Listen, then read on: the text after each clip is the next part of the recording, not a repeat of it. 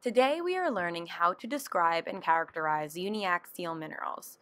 Our goal is to determine a uniaxial mineral's optic sign, or whether it is optically positive or negative. Note that this is different from having positive or negative relief. Here's how we do that. Step 1. Find and center your grain. Switch to cross-polarized light. Step 2. Switch to the highest magnification and focus. Verify your grain choice. The best grains of the mineral of interest will have the lowest retardation. Step 3. Insert the Bertrand lens. On this microscope, it is a switch labeled BL above the cross polarizer. On many microscopes, you will also need to switch on a condensing lens here. This is the ideal image you will obtain.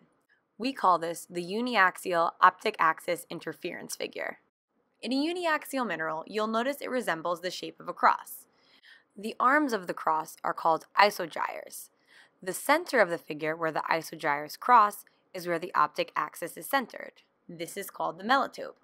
Uniaxial minerals get their name because they have one optic axis. In all minerals, interference color bands circle the figure. Sometimes we don't see them because they are outside of our field of view in the microscope. These bands are called isochromes, and they increase in order from the center. Step 4. Note the interference colors in all four quadrants. In this example, all four quadrants are a first order white. Step 5. Insert the accessory plate. Step 6. Observe the interference color changes. Here, the northeast and southwest quadrants went from white to blue when we inserted the accessory plate, and the northwest and southeast quadrants went from white to orange. Also note that the interference color of the isogyres is now a first order magenta with the addition of the accessory plate. Step 7. Using the Michel-Levy chart, determine which quadrant exhibited the most significant increase in interference color with the addition of the accessory plate.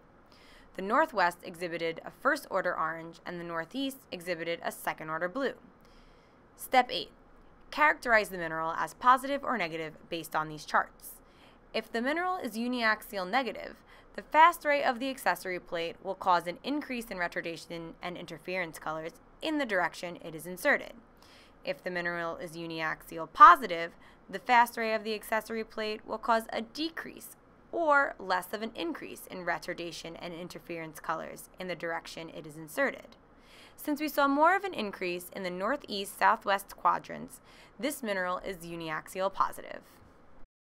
More often than not, the melatope will be outside of your field of view, but you can still characterize the optic sign. In this example, we see one isogyre coming up through the center of our field of view. We need to rotate and reconstruct our quadrants in order to determine the optic sign.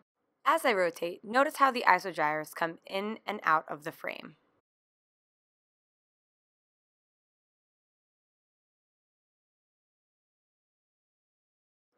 As I rotate again, Notice how I go through the northwest, into the southwest, over to the southeast, and up again to the northeast.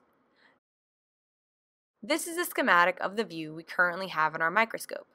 Again, I move from the northeast to the northwest. Then I insert my accessory plate and observe the changes. Watch as I rotate from the northwest, past the magenta isogyre into the northeast, and then rotate back into the northwest. This is the same uniaxial positive mineral that we observed before. Our interference color changes are the same, but our mineral grain is oriented differently. Now it's your turn to try an example. Here I go from plane polarized light to cross polarized light. I've chosen a grain with low retardation. Then I switch to the highest objective, focus, and then put in my condensing lens and my Bertrand lens. Take a moment now to orient your quadrants.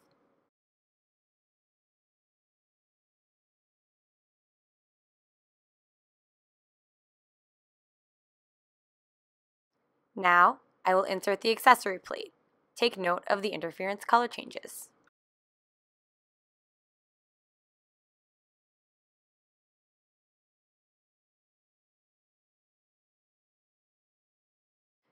So is this mineral uniaxial negative or uniaxial positive? Here are the charts for some help. If you answered uniaxial negative, you are correct. Here are some things to remember and some helpful tips. Try to find the lowest interference color and largest grain of your mineral for an interference figure. Most uniaxial interference figures are not perfect. Take your time to look for the right grain. Be patient finding the isogyres, and then again in orienting them. The reference circles provided are only for microscopes where a gypsum accessory plate is inserted from the southeast.